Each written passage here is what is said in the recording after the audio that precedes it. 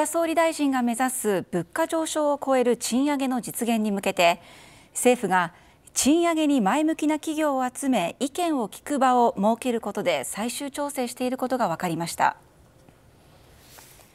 政府関係者によりますと政府は来月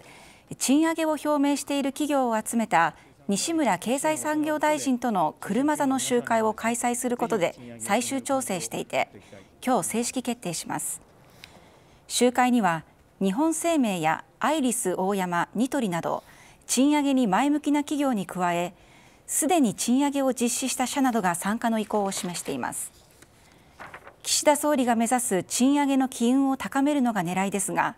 雇用のおよそ7割を占める中小企業に波及できるかが課題です。